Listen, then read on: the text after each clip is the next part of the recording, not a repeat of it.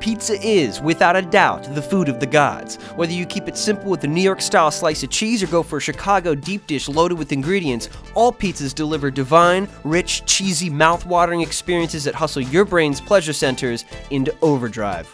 Although the ingredients may change, all pizzas taste delicious thanks to a complex chemical symphony of flavor and texture. Today on Reactions, we want to give you a lesson in chemistry to help better explain the profound beauty found deep within your favorite pie.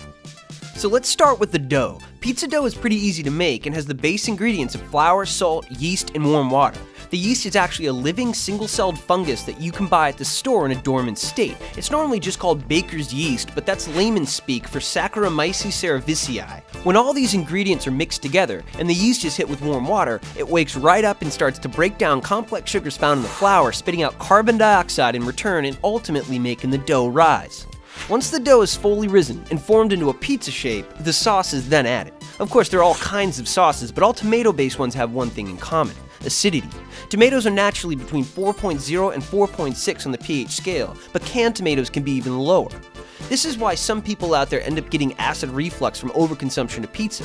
To balance out an overly acidic pizza sauce, some people add a tiny pinch of baking soda, which is basic, making it an antacid, which helps neutralize the acid burn. On the topic of acids, let's get to cheese. Cheese is basically a byproduct of adding acid to milk. Milk is made up of proteins called casein and whey, as well as fats. When acids are added, the casein coagulates to form cheese and separates from the whey protein. To make the cheese stronger, cheesemakers add rennin, which helps keep the casein molecules bonded tightly together.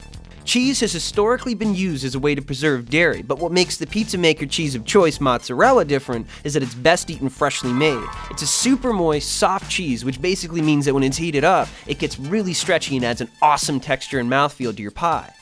With the basics of pizza down, any pizza maestro can finish their symphony off with their own personalized mix of toppings. Different folks, different strokes, but the final step and most important is what goes on in the oven, the place where all toppings become equals. The first thing to be affected is the cheese. When cheese meets heat, the fat in the cheese change from solid to liquid. Mozzarella stays nice and stringy because calcium ions help to hold all the casein proteins together. Calcium, good for your bones and good for your mozzarella. Then, when pizza starts to properly cook, the holy grail of culinary chemical reactions begins, the Maillard reaction. At temperatures above 140 degrees Celsius, sugars react with amino acids to create flavor compounds that give food that distinct, bold, cooked flavor.